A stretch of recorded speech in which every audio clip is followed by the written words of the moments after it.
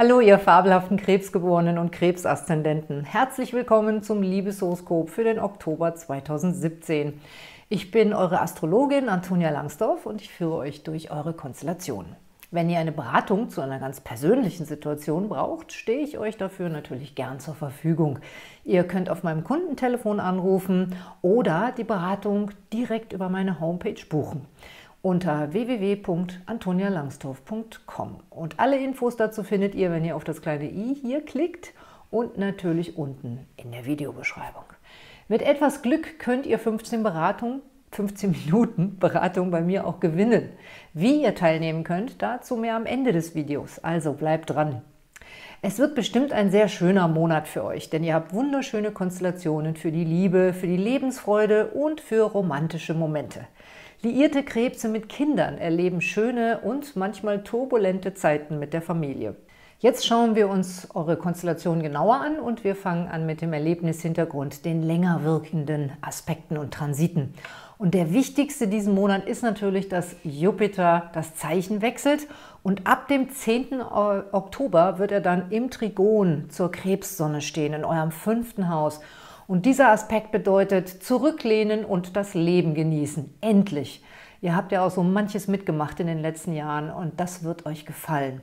Der bringt ein großes kreatives Potenzial, Selbstvertrauen, auch größere Projekte gelingen jetzt leicht. Nur sorglos und träge solltet ihr damit nicht werden. Das ist ein bisschen die Gefahr bei diesem Trigon, ne? dass man bequem wird und einfach nur noch als Couch Potato herumhängen möchte.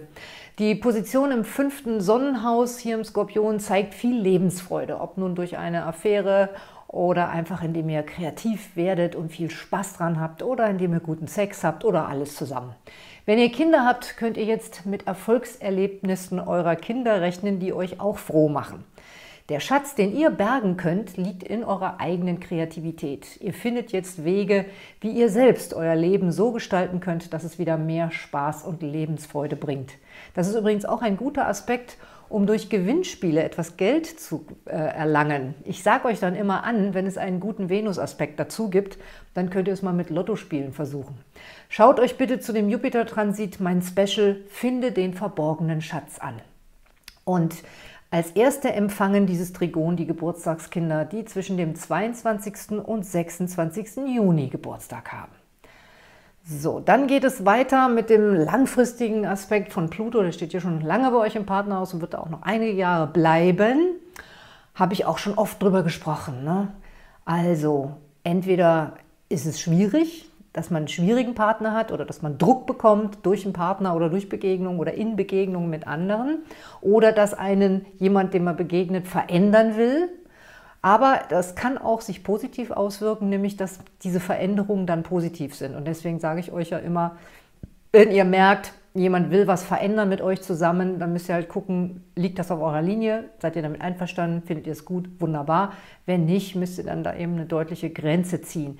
Ihr habt aber die sehr gute Chance, wenn Jupiter durch den Skorpion geht, ähm, dass sich dann wirklich auch mit diesen starken Pluto-Aspekten in eurem Partnerhaus vieles zum Besseren wenden wird, weil da gibt es dann positive Aspekte. Das, wie gesagt, habe ich genau erklärt in dem Special. Das müsst ihr euch unbedingt angucken. Ähm, das bedeutet nämlich, äh, dass eine Harmonie entsteht, die eben auch den etwas schwierigen Pluto oder den etwas schwierigen Partner oder die schwierige Partnersituation ein wenig äh, verbessern kann und auflockern kann. Ne? Also da habt ihr sehr schöne Aussichten fürs nächste Jahr, deswegen unbedingt das Jahreshoroskop gucken. Muss ich aber erst noch fertig drehen. okay, und die Opposition mit Pluto empfangen jetzt im Oktober diejenigen, die zwischen dem 8. und 11. Juli Geburtstag haben.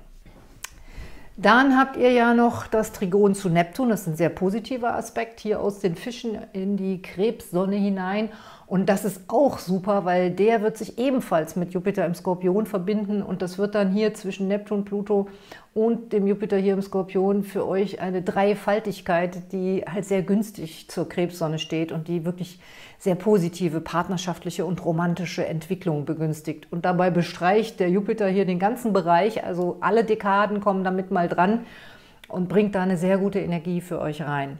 Und das Trigon zu Neptun ist ein sehr romantischer Aspekt, das Empfangen in diesem Monat die Geburtstagskinder, die zwischen dem 3. und 6. Juli Geburtstag haben.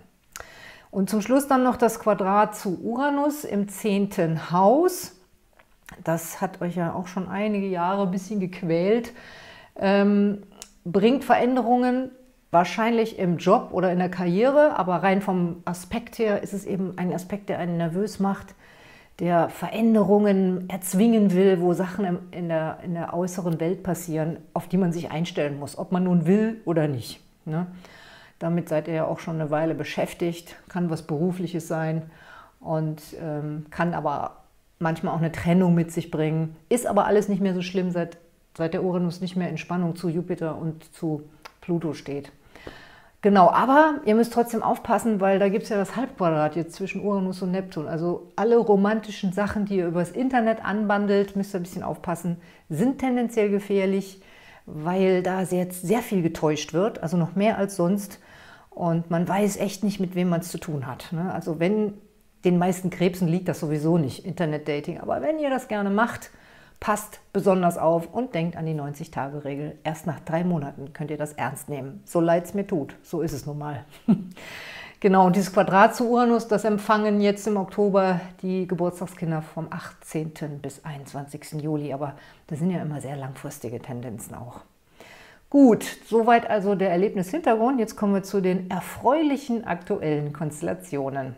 Der Monat beginnt mit Sonne, Merkur und Jupiter in der Waage und die stehen bei euch im vierten Haus hier der Familie. Ist sehr prickelnd, deswegen turbulente Zeiten, ne? ist viel los bei euch daheim.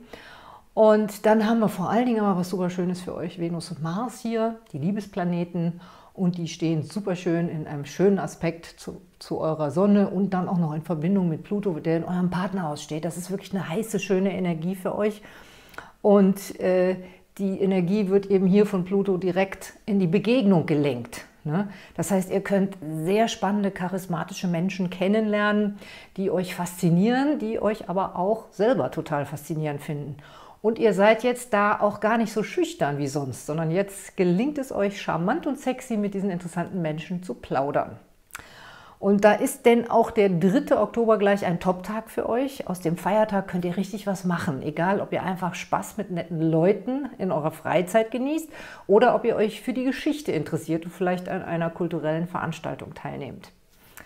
Die Flirt-Energie steigert sich dann immer weiter bis zum Vollmond am Donnerstag, den 5. Oktober. Und der ist für euch ein bisschen in Spannung zur Krebssonne. Hier Waage Widder, das ist eine Spannung auf die Krebssonne. Das heißt, ihr könnt da bestimmt nicht schlafen. Aber hier die Konstellation mit Venus-Mars ist halt auch top romantisch, immer noch hier mit dem Partnerhaus auch. Ihr seid besonders charmant, auch im Alltag, zum Beispiel beim Smalltalk mit den Nachbarn oder beim Einkaufen. Ihr wirkt echt bezaubernd. Also wenn ihr nicht schlafen könnt, entweder der Liebe dienen oder schöpferisch kreativ tätig werden. Ja, leider geht dann die Stimmung so ein bisschen runter. Ab dem 6. Ähm, kommen hier die beiden Venus und Mars ins Quadrat zu Saturn und da ist dann so ein bisschen so Ernüchterung angesagt und das ist vielleicht auch für euch der Fall, aber ich glaube fast eher nicht so sehr, weil ja trotzdem weiterhin die beiden zu euch in einem guten Aspekt stehen. Auf jeden Fall, sollte es zu einer schwierigen Situation kommen, raten euch die Sterne in Beziehungsfragen nicht aus einem Impuls heraus eine radikale Entscheidung zu treffen. Denn die Phase dauert nur ein paar Tage. Versucht da locker zu bleiben und nicht alles, was gesagt wird, persönlich zu nehmen. Genau, und in dieser kritischen Phase am 10. tritt ja dann Jupiter in den Skorpion ein, auch begleitet von vielen kosmischen Spannungen. Okay, aber trotzdem insgesamt für euch ein super schöner Aspekt. Und mehr darüber erfahrt ihr in meinem Special Finde den verborgenen Schatz, wo ihr diesen Schatz heben und finden könnt. Und dann äh, wird die Stimmung so allmählich wieder besser und zum 14. wird es dann richtig gut, 14. Oktober, da geht nämlich die Venus in die Waage und damit auch in euer viertes Haus, also top fürs Familienleben.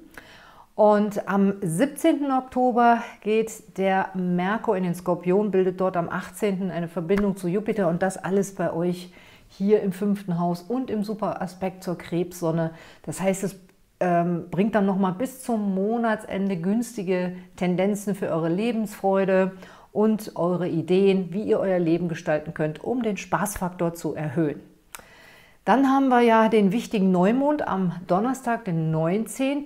auf 26 Grad Waage. Und das Thema ist ja erwartet das Unerwartete.